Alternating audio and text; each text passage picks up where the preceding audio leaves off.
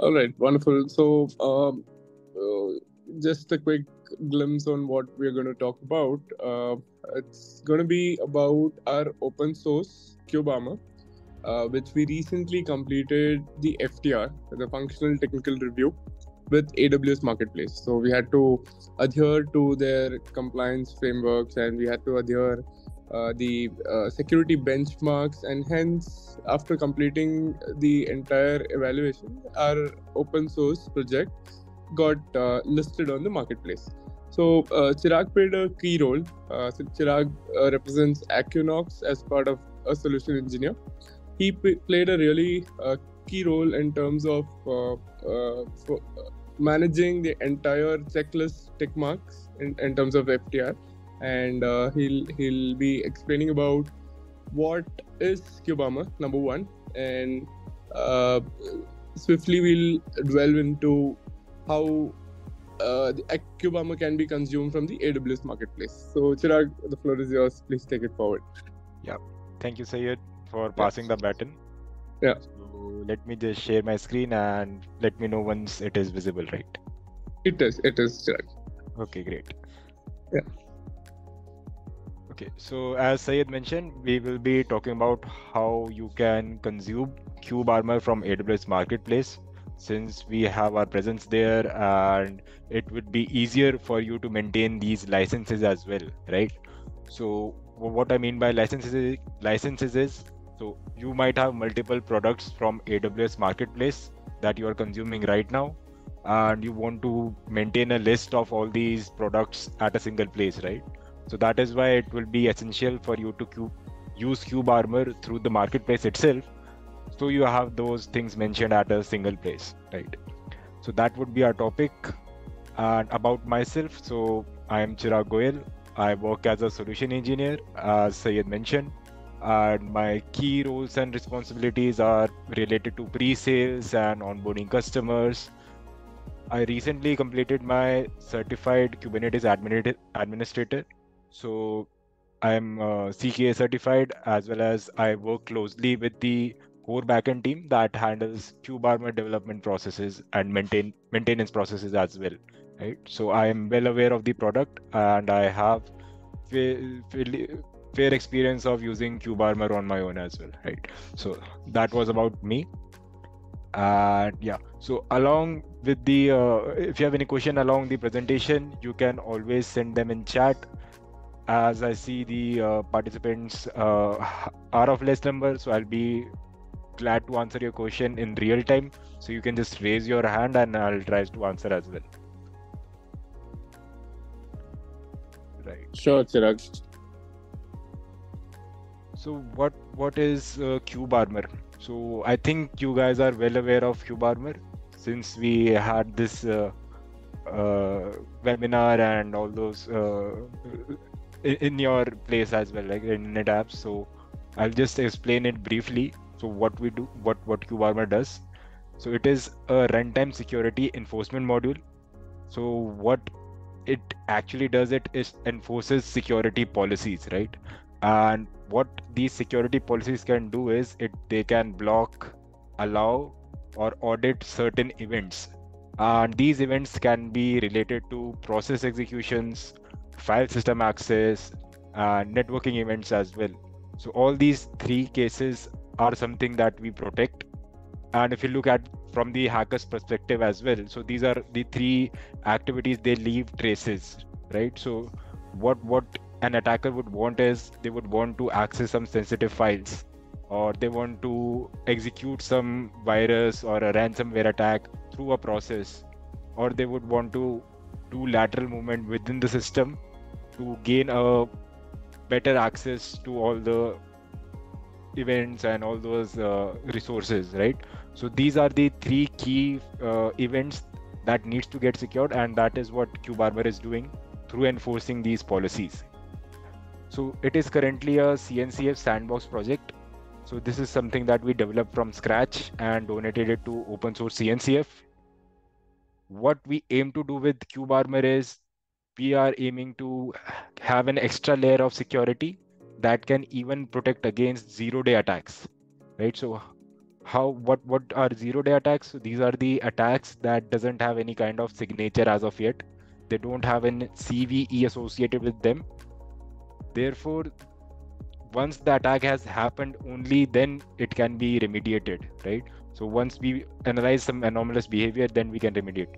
So what KubeArmor will do in that sense is it can create a zero trust policy that will allow only the events necessary for your application to run and block everything else right? So in that sense your sensitive files or sensitive uh, processes you can create a policy for and it can be protected right off the bat once the policy is applied.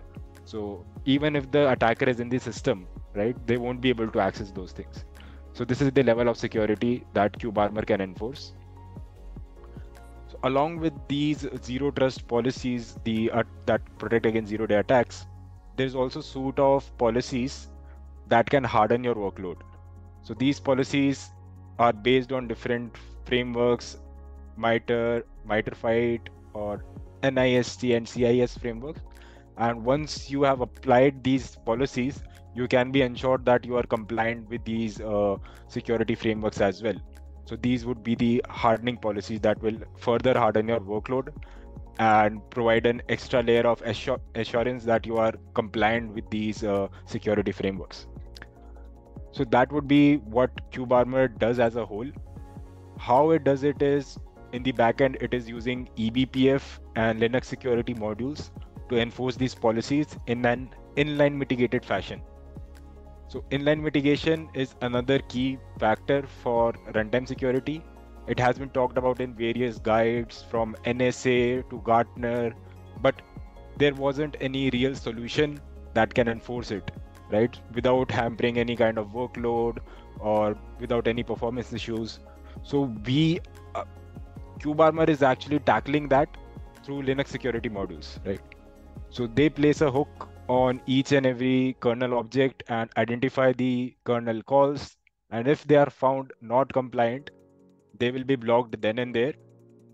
And it will ensure that no event actually happens without uh, the consent of those uh, KubeArmor policy, right? So in other cases, what happens is in post-attack mitigation case, the attacks ha- happen, there are some abnormal behavior, some malicious behavior that gets detected by the tool, and then it it will either alert the user or kill try to kill that process. But in the case of KubeArmor, it is inline mitigated, so those events never actually happen, right? So that is the key factor. And what KubeArmor can secure through this technology is cloud containers, that would be the containerized workload in Kubernetes, ECS, EC2 instances, or it could be any on-prem workload as well. So on-prem in the sense, uh, any general workload that is deployed as a process, and you can even secure your host as part of uh, the hardening policies and zero trust policies. So these are all the cases that we can secure. We are building towards IoT edge and 5G networks so you can go to 5gsec.com to understand about 5G networks, how we are securing that. And IoT Edge is also something that we are looking into. Since all these places, we have a single control plane that can handle the processing and the networking and the file accesses. That's why KubeArmor is capable of getting into those control planes, identifying the actual workload and protecting it through these uh, security policies so that is the basic idea behind it and that is how it's uh, it is providing the runtime security so coming back to the agenda so agenda of this call is to install KubeArmor through aws marketplace. So for doing that we would require some prerequisites to do. And the first and foremost prerequisites is to have a aws cloud account. So your subscription of KubeArmor will be associated with associated with this cloud account, and through the AWS Marketplace only you can register it, and you will get you would need to create an IAM role for the service account of this uh, product. So for KubeArmor, you would create a service account, and that will require actually require an IAM access. So IAM uh, should IAM service should be registered with your cloud account And the third is either you can have an EKS cluster or you can have any managed or unmanaged Kubernetes cluster from any other service that could be K3s created by K3s or kubeadm or and managed service like AKS or GKE. So all these Kubernetes cluster you can use to install KubeArmor. And along with these prerequisites, we'll be using these tools and binaries to help us facilitate the installation. So AWS CLI is something that will I will use to configure the EKS to use in my local system. So through AWS CLI, I'll be connecting to the EKS cluster and through kubectl command command line, I'll be able to access the pods and run uh, operations for using the Kubernetes uh, environment, right? So the EKS cluster I'll be using through kubectl command line. And Helm is something that we'll be using for installation of the KubeArmor binaries.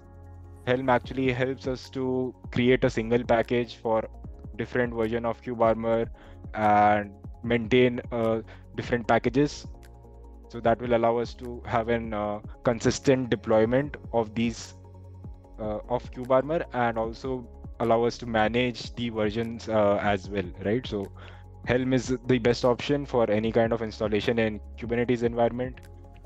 And we'll be using EKS library to create a service account for our Kube, uh, KubeArmor deployment, right?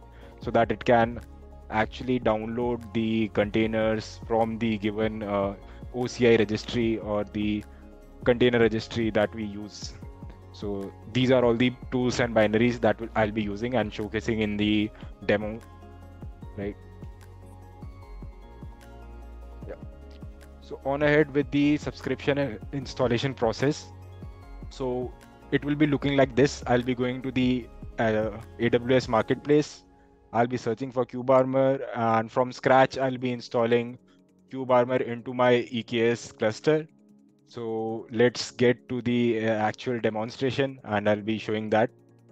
So let me just share my entire screen so you are able to see my console and all those things. Yeah. So let's get on to the demo. So you can go to the AWS marketplace, you can directly search for KubeArmor. So we have KubeArmor listed on marketplace as such, and we allow different kind of installations to take place. What we will be focusing is on the latest version of KubeArmor on our EKS cluster. So that would be our AWS managed cluster that we will be using. Right. So once you are have done the subscription you can click on configuration button. That will let you to choose what kind of fulfillment you want. Either you can have container based fulfillment. What it means is the different containers for KubeArmor will be installed separately. But since we have a better option that is helm chart where all the containers are packaged in one command in one uh, single rule so that it is easier for you to install right? So that this is the purpose of this uh, fulfillment option and to make your life easier only. So you'll be using helm chart. And after selecting your software version so by default it will be selected to the latest one. If you are comfortable with an older version you can select that but it is best practice to select the latest only. And you can click on continue to launch now this will take you to the uh, commands that are actually needed for the installation. So here I'll be switching to the console and what I have in the console is I have created my EKS cluster for Kubernetes version 1.27. You can have it created for 1.28, 1.26. So all these Kubernetes version we do support. And I'm accessing this cluster through my WSL command line. So here you can see this is the WSL command line that I'm using. And through this command AWS EKS update config, I have the kube config configured and I can directly run kubectl commands to access the cluster, right? So let me just do that. Uh, these are the uh, default pods that are configured by AWS themselves so that we have all the uh, Kubernetes related services pre-configured and we can directly use them. So along with this, we will be installing KubeArmor. So we'll be just following the uh, instructions that are present here to do that, right? So the first thing we need to do is create a namespace where the KubeArmor binaries or KubeArmor pods will be deployed. So let's do that.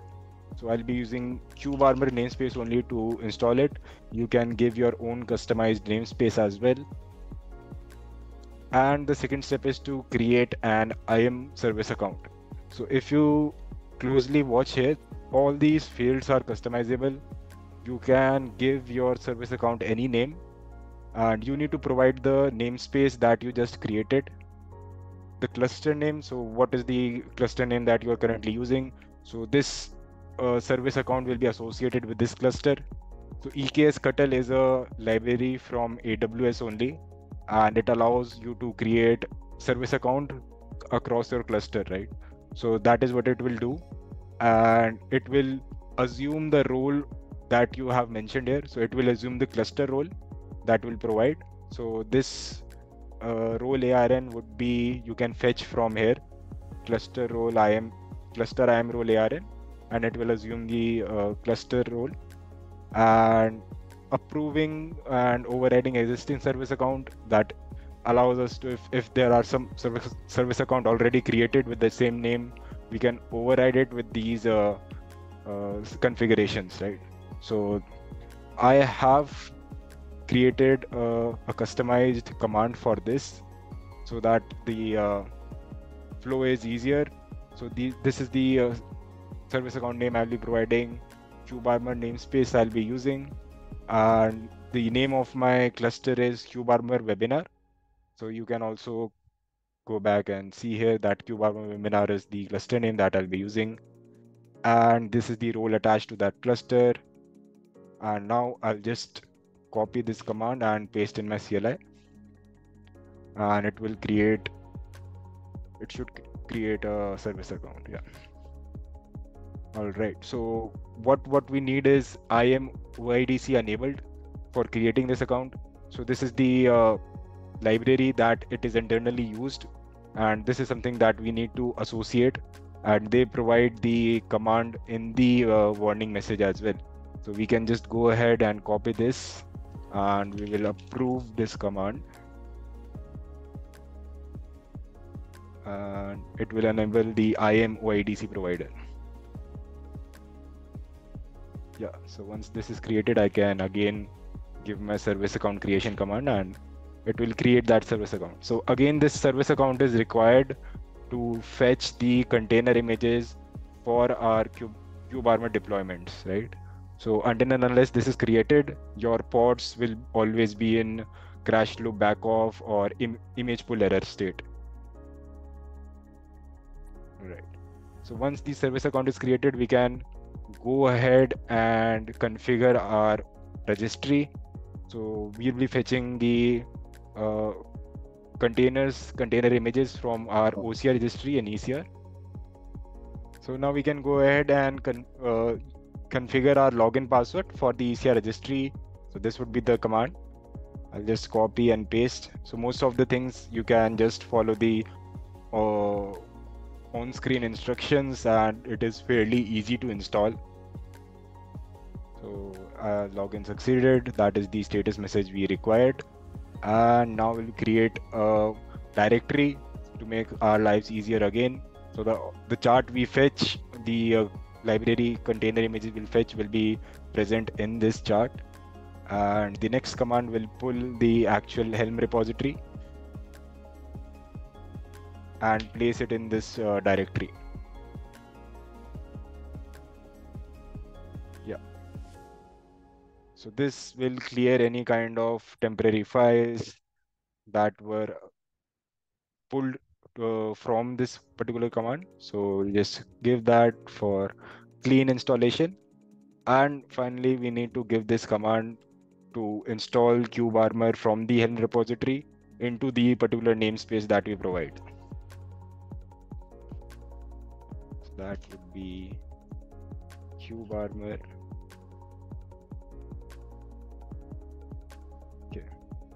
Must see they provide a specified name. Great.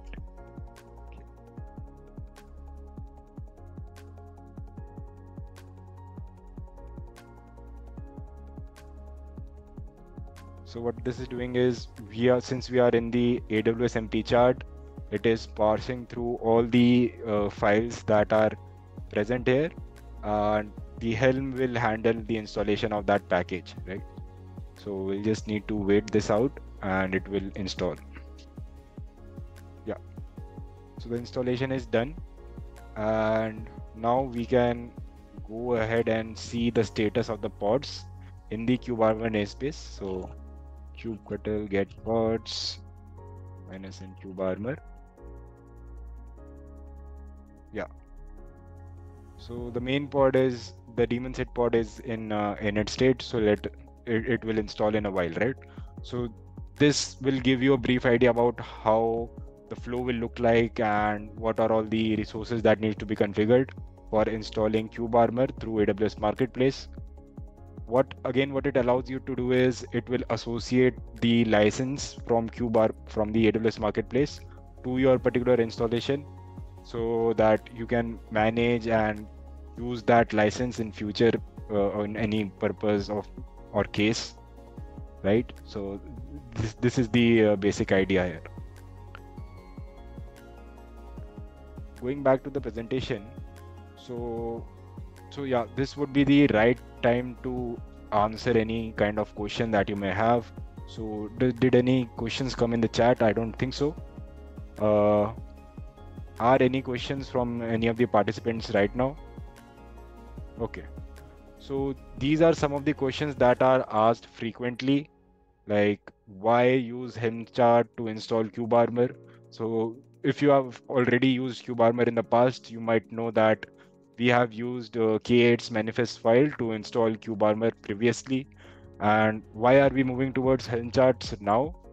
So in most cases the karmor CLI is an add-on to what what the user wants, what what you might want, and we are trying to eliminate that uh, particular dependency so that you can just install the kubearmor related pods using helm chart right? So it will package the ver- current version of kubearmor into one file and it will allow you to manage those things by editing deleting or updating through the helm chart helm uh, library alone right? So this this becomes an easier uh, way for you to manage the kubearmor versions and uh, kubearmor entirely right? So this is why we are going towards helm chart. And why choose kubearmor security for amazon managed kubernetes service right? So kubearmor is a great tool for security. First of all, it allows you to monitor all the events that are happening at the runtime in your environment. And it allows you to uh, enforce security policy that will do inline mitigation of the attacks or violation of these policies, right? So both of these uh, features require a heavy toll in the performance if you go with any other tool. But kubearmor does in a very lightweight fashion since it is using eBPF and LSM's technologies to do that. And this is why exactly why the kubearmor tool is uh, differentiated in the uh, open source and market as well. Why specifically Amazon managed Kubernetes here?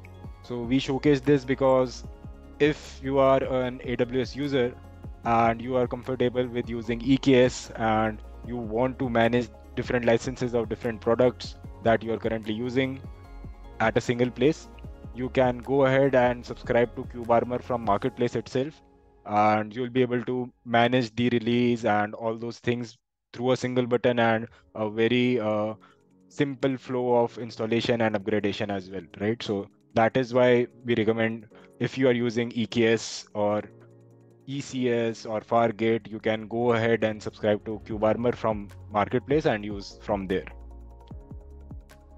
and what could be a real world use case for kubearmor so how can it actually enhance the security So as I said, KubeArmor is meant to protect against even zero-day attacks. So let's say Log4j happened, right? So nobody knew what kind of vulnerability it exploited, and the sensitive files and all those things were exfiltrated, and uh, basically the damage was done in the system, right? So what KubeArmor will do in that sense is it can protect those sensitive files, those crown jewels that you have in your environment, and you do not you don't have to care about anyone getting into the system. So it works in a zero trust fashion. So even if the attacker is in the system or an unknown person is the system and they want to get these crown jewels and sensitive file, KubeArmor will actually deny them the access since we'll be creating a policy for those files to be accessed by certain processes only, right? so that that is what KubeArmor is capable of, and th- this would be a real world use case to be there for any other log5j or log6j, right? So yeah, that would be all the questions.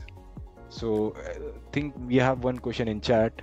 So does KubeArmor support EKS optimized AMI?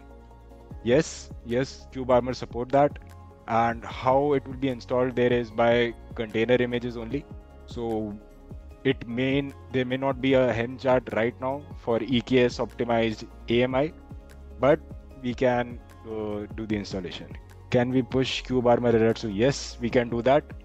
So the integration is completely possible through our relay server, and we can configure it to push it to CloudWatch or Splunk and rsyslog as well. So these integrations are present in uh, our GitHub repository as well. So you can go to KubeArmor GitHub and see uh, all the uh, integration and how you can do that.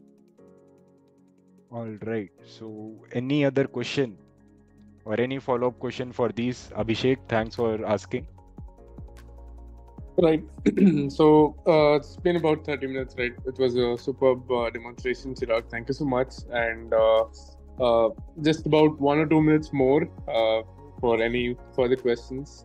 By the way, uh, these are the two pertinent links. the first link says install KubeArmor from the AWS marketplace where we are actually accepted and listed. And the other is we have a detailed step-by-step document available so that you can actually uh, follow that as well for your uh, organizational purpose. So uh, we have a very, very less crowd. So Ram, Ajit, Kadam, Abhishek, please feel free to uh, uh, ask any query you might be having. So apart from open source, mm-hmm. what else extra is offered here? Is just that is this is managed uh, or, or what what other things mm-hmm. are available compared to the open source? Okay. Up, apart from open source, huh, Ram? No, no. Uh, what additional things are being offered in this, in this Okay.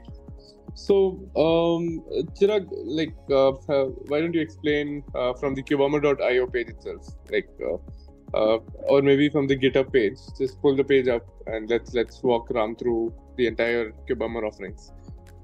Yeah, definitely so uh, like I, am trying to understand the question better. So are you asking like apart from the kubearmor open source github is there some extra feature that we are providing in through aws marketplace? Is, is that your question?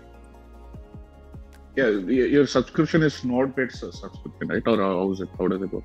Okay so the subscription is completely free of cost. So even if you don't have any kind of payment method enabled in your cloud account then also you can subscribe to kubearmor so it is just there to enable you to have a better way of managing that tool right? So if you are using eks or a managed cloud service or eks anywhere so in that sense you can uh, use aws marketplace to install kubearmor and maintain the versions and the license of kubearmor as well. So that that is no doubt uh, open source kubearmor is open source only and we are providing all the fee- open source features for kubearmor through aws marketplace yeah. Okay, okay thank you. Uh, thank you so much everyone for joining in uh, spending time late in the evening post working hours. It was really nice to have you all and we look forward to do this on a regular basis and we'll keep you all posted. Thank you thank you ram ajit kadam udit uh, ashok and everyone yeah. Thank you, Chirag. Yeah, thank you so much for joining and uh, really appreciate your attendance in this webinar. Thank you.